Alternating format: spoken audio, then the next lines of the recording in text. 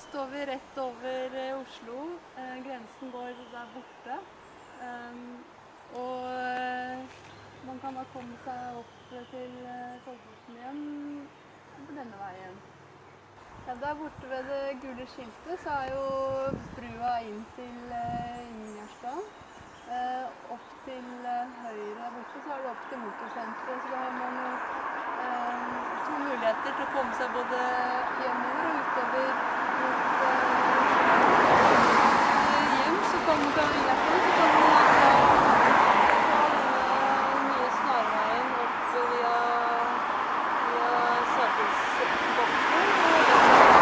Hvis man krysser eh, gamle Mossvei der oppe, så kommer man inn på dette stisystemet og ned til eh, Gjersjøelva. Da kommer man jo over en helt ny eh, naturtype. Veldig idyllisk langs med, med Gjersjøelva her.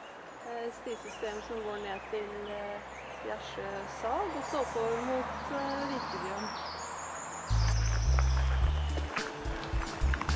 Jeg begynner å gå oppover det som er merka som en eh, lokal sykkelrute i sykkelkartet vårt. Vi begynner som sagt i Oslo kommune. Her her kommer vi straks til Skillebekken, som markerer grensen mellom Oslo og eh, Oppegård. Som en del av prosjektet så har vi satt i stand eh, veien, sånn at det blir eh, bedre å gå og sykle også på den. Det er også en avtale vi har gjort med eh, grunneier og eh, beboerne her oppe, at vi får lov å bruke og legge om eh, turveien mot at vi har gjort en litt eh, Vi har gjort noe arbeid på veien her med å, grøfte og eh, legge på hjemmehusasfalt. Og sånn blir jo veien mer brukbar for alle. Både gående og syklende og ridende. Det er mange som eh, bruker dette her som ridevei også fra Sørås gård og utover mot, eh, mot.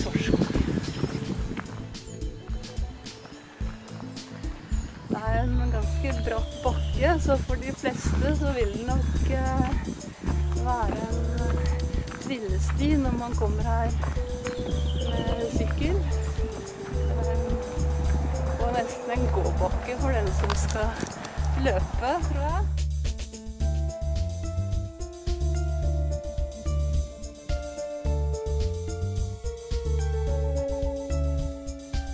Her til venstre så så jeg der er stien sånn den, sånn den var, og sånn fortsatt er. Så den som vil ha litt mer utfordringer, kan fortsatt bruke den. Og så har vi fått lov å legge en sløyfe på utsiden her som er litt mer sykkelvennlig. Um, fremdeles uh, med kanskje mer en trillesti enn en uh, en sykkelsti, men sånn er det. Det er jo ikke så lange, lange strekninger, så det får gå. Man får jo så fine muligheter nede på gamle Mossevei. Så.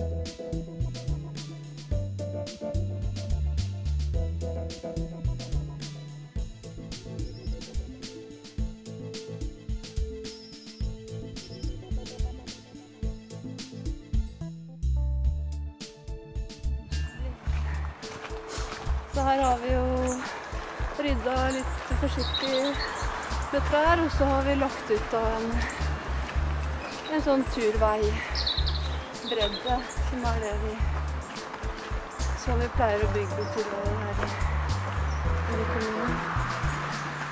Det er litt løst ennå, men det kommer nok til å, å sette seg i løpet av sommeren. Det kommer litt mer regn. Og, så tror jeg det skal bli veldig, veldig bra.